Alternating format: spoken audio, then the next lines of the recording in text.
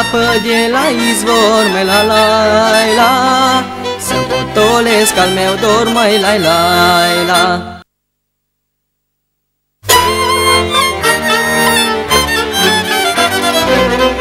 Hai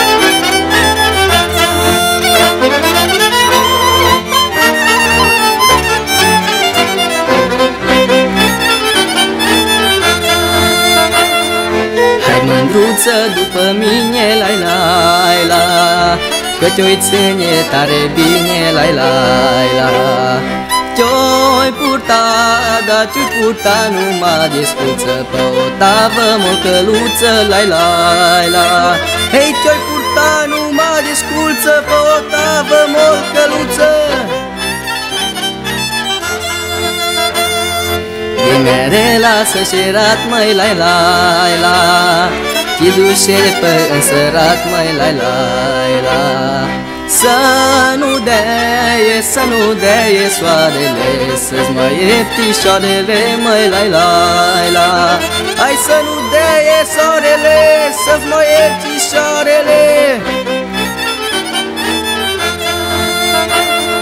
Dacă-i face de mâncare, la la la Îi șerbi o bara la soare, la. La la Călemnele, scălemnele, spăpânic Și de zăbovit un tic, mai la la la. Ai călemnele, spăpânic Și de zăbovit un tic De te sui pe scară în pod, mai la la la Dacă nu chiși ai noroc, mai la la la. Și mâncarea și mânca numai slănină Să poți fugi prin grădină, la la la. Dacă nu, dacă nu mi ascultat Cu tine oi mătura, mai la la la Mulțumim, uh, regie, pentru acest cadru frumos uh, cu inimioară. Uh, Facem, uh, avem un telefon după care mai facem două invitații. Alo? Alo? Mai e doamna sau domnul pe telefon? Alo? Se pare că nu mai. Uh, miercuri, uh, 3 martie, de la ora 19, miercurea viitoare, la Centrul Cultural Municipal din Bistrița. Doamnele sunt invitate la un mărțișor muzical oferit uh, de unul dintre cei mai îndrăgiți interpreți de folclor din Transilvania, Aurel Tămaș. Uh, alături de el, pe scenă vor fi prezenți uh, Mirela Petruș și ansamblu cu Nuna de pe Someș. Așadar, cei uh, care îl iubesc pe Aurel Tămaș și pe Mirela Petruș, sunteți invitați uh, la acest uh, concert dedicat în mod special doamnelor și de asemenea mâine de la ora 18 la filiala Andrei Mureșanu a Bibliotecii Județene are loc lansarea volumului Între atunci și acum semnat de Titus Vajman Hogiu. Uh, volumul uh, cuprinde păreri uh, ale unui trecător, zice domnul Titus, prin politica locală timp de 20 de ani. Sunteți invitați la toate aceste evenimente. Uh, Ionuț, dacă fetele au... Uh, tu te-ai dus să le ajuți, ți-a pus colegul în uh, plus și o inimioară, ceea ce uh, este un lucru frumos. Alo? Alo, Bună seara! bună seara! Bună seara! Uh, Vreau să vă felicit de dragobete. Doamna Emilia, bună seara! Dumneavoastră îmi faceți mie declarația de dragoste. Uh, Că e concurs. știți de ce? Sunteți în minoritate datorită băieților. Chiar dacă trebuia să fiți mai mulți băieți, eu vă felicit. Uh, Fetele sunt extraordinar de frumoase și cu siguranță dragobete o să vină cu Cupidon, o să vină la ele. Uh, felicit, uh, sincer am intrat destul de târziu pe emisiunea dumneavoastră. Acum am văzut uh, băiatul care este lângă dumneavoastră. Uh, domnul Menuț, Da? uh, problema este că acest băiat ține uh, tonul, cred că, multor soliști din Bistrița, prin text uh, interpretare și tot ce se întâmplă din punct de vedere folcloric. Admir, nu știu cine i-a făcut acest frumos cântec care l-a cântat. O să ne spună el. Vă mulțumesc frumos. Cine a Doamna făcut? Livița Istrate. Doamna, Cine? doamna Doamna Livia Livița Istrate Istrate. de la Năsăud. Doamna, eh, da, doamna Livia este într-adevăr un textier extraordinar și îi se potrivește și chiar îl interpretează ca atare pentru că au mai fost soliști care la doam- doamna uh, Livia le-a făcut textele, dar nu au mers. Ce să facem? Asta este.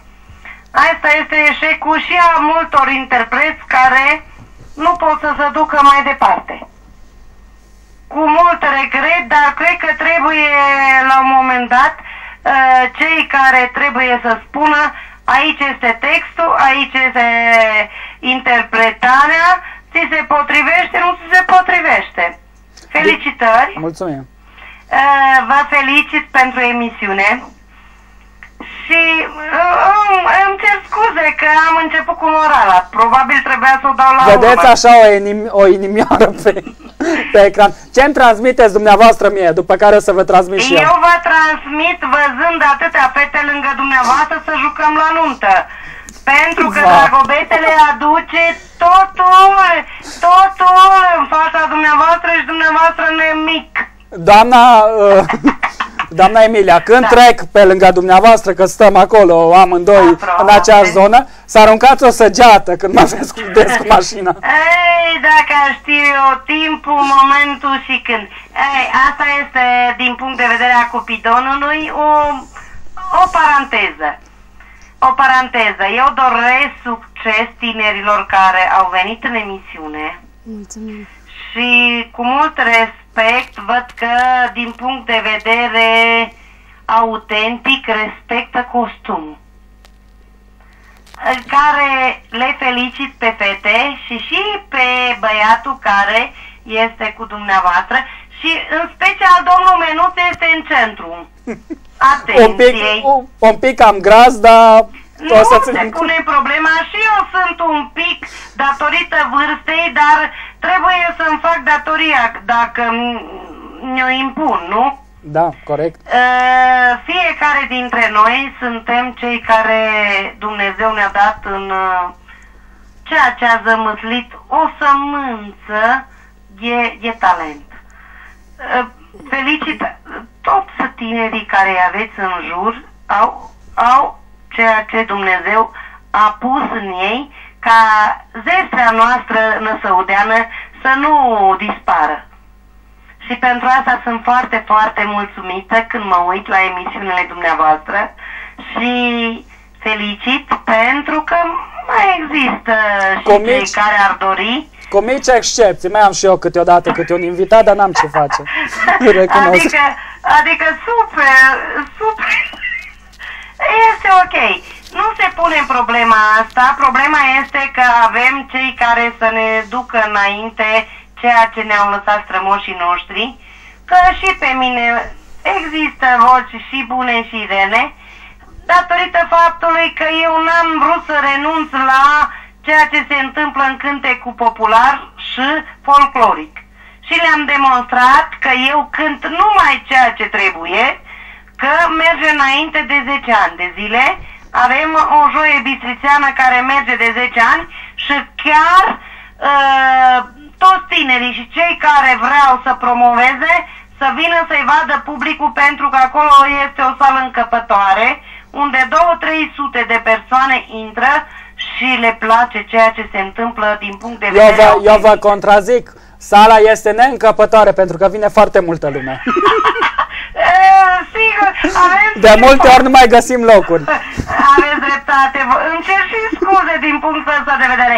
Dar nu, vine vara. Vine vara,